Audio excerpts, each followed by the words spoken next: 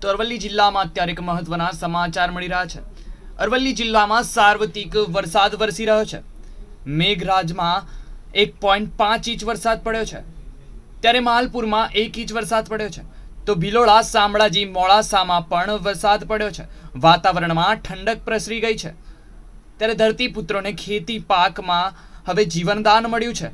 તો અરવલ્લી જિલ્લામાં અત્યારે સાર્વત્રિક વરસાદ જોવા મળી રહ્યો છે.